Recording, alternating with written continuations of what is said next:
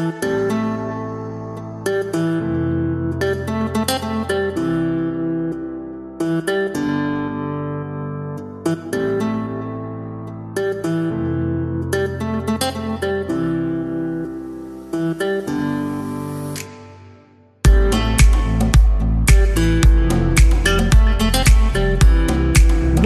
back to our channel. Today's video, I just want to uh, share to you and unbox the Joby Action Series or Action Base Kit.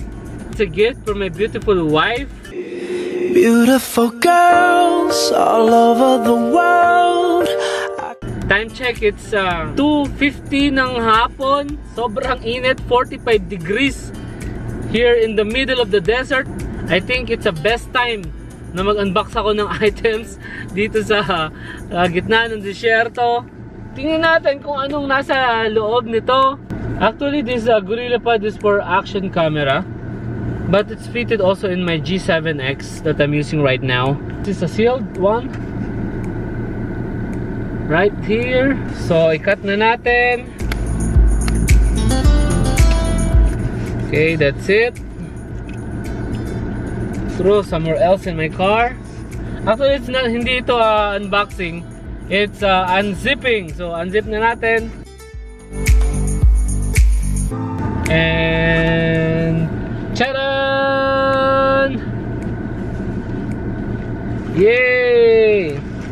So, what you have is a GorillaPod. Like size of this. So, so saktong-sakto yan sa for vlogging. And for my G7X. And uh, the color is matching sa G7X with a red uh, touch down and uh, on the top. There's a screw for uh, my camera. Nice handle. And there is an action grip. Here.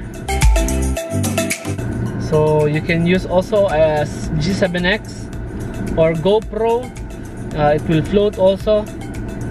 And so it's like a plastic made and then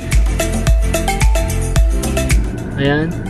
So this one I think it's a magnetic. You can uh, you can keep it in some uh, metal or something. You can keep you can put a GoPro or my G7X ito naman yung uh, for uh, GoPro. So pwede mo ilagay dito para sa, para sa GoPro. O kaya ilagay mo dun sa hand grip or dun mismo sa GorillaPod there. And some uh, sticker some paper. Kung anik-anik dyan. So that's it. Actually ito pa yung uh, old uh, camera um, vlogging tripod ko. Parang gorilla pa. Actually it's a uh, flexible pod din siya. Katulad siya ng uh, gorilla pod but ang gusto ko dito kasi ano siya rubber type siya and foamy ang dating niya. Ang uh, feel niya. Ang problema lang dito yung durability. So saktong sakto lang to sa GoPro kasi ang GoPro ay hindi naman masyadong uh, mabigat. Yung G7X medyo mabigat. So uh, I'm always uh, worrying na baka magbumigay itong uh, plastic kasi plastic lang to and uh, tawag dito babumagsak yung camera compared dito sa GorillaPod ayan. So halos uh, magkasing uh, ano lang sila haba. Malahaba lang ng konti yung uh, flexible pod na nabili ko sa Canon store sa National Store. Ito naman ay Joby uh, flexible pod. So ah sorry Gorilla pod. So ayan. Uh, bebend mo ng konti pag uh, for vlogging para naman na uh, astig. Astig ang dating ayan.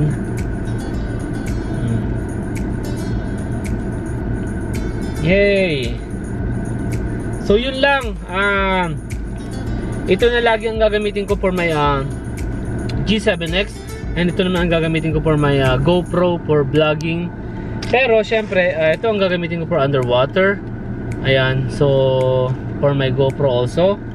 And for the magnetic something in the wall or something Ah, pwede siguro din sa sasakyan. I don't know how to ma- magmamagnet ba to. Wala kasing ah, metal object dito sa loob ng sasakyan na pwede kong uh, uh, itry itong magnetic na to. Anyway, ah tingnan ko yan. Ah, try ko mamaya. Ayan, so compare ko lang itong dalawa. Ah, lightweight and uh, I think this is good for uh, comfortability. Uh, rubberized and uh, foamy ang dating but the durability issues uh, have a problem here in this uh, flexible pad but Gorilla Pod it's a uh, durable first of course and the grip is not so good uh, medyo ano siya parang bulky type and uh, ang, ano hindi siya comfortable hawakan and parang something humahawakan ng ewan ko kasi dito ang soft lang siya eh. soft and uh, rubberized and foamy ang dating dito naman eh matigas and uh, gomang goma or something like that. So but still durability issue and uh, this one meron pang uh, level uh, something dito. So makikita mo kung saan yung uh, pinaka uh, pantay. Ayan so na re-release quick release din siya. Ayan. So katulad nung uh, ito meron din siya ng quick release Ayan. so pali halos yung color niya halos hindi nagkakaiba. Red and black. Ayan. So ito I'm using for my GoPro and I'm using for my G7X yeah. So ah uh, yung price pala nito na nabili ko ito sa Grand Store dito sa UAE it's 199 compare na nabili ko to uh, sa National Store na almost 70 dirhams and 199 dirhams. So, doble yung presyo niya. But, syempre hindi lang yon Meron kang, uh, ito kasi tripod lang. Uh, meron kang, syempre yung uh, Gorilla Pod plus meron ka pang uh, hand grip and meron kang magnetic and meron ka pang uh, extra pang GoPro. And syempre yung uh, bag niya It's a branded brag Lower Pro. Yan, Lower Pro in Joby. Ayan. So, pwede ko rin siyang uh, lagyan ng uh, camera. Lagyan din ng uh, GoPro also. So, maganda siya. So, hindi ko na gagamit, hindi na ako gabili ng iba pang bag. Dito ko na lalagay yung mga camera. Kakasya yun siguro malamang. For sure. Ayan. so, that's it. Um, yun lang yung uh, masasabi ko dito sa action uh, kit ng uh, Joby. I think um, actually nagustuhan ko talaga siya. Kasi nga ang dami niyang uh, kasama. G-Pad magnetic action hand grip and gorilla pad uh, for my vlogging. So ayun! Salamat sa panunood nyo and uh, I hope na nakatulong sa inyo for looking for a vlogging uh, tripod or flexible pod. Uh, the best tong uh, Joby Action Series. Ayan, so kasi ay mga vloggers always in action. Laging uh, laging ready. So kaya nga action series daw to.